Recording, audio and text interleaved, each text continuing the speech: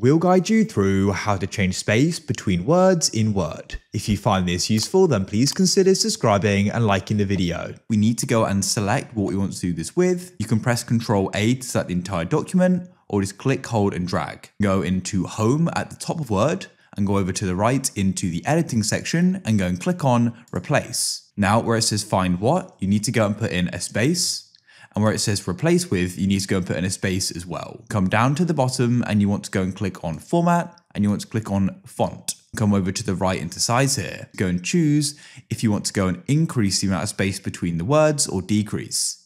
If you want to go and decrease the amount of space, you need to go and choose a smaller font size that the text currently in. So this text is currently in size 20, so I'd need to choose something lower than that. But if I want to increase the amount of space between the words, I need to choose something bigger than 20 in my case. I could choose 36.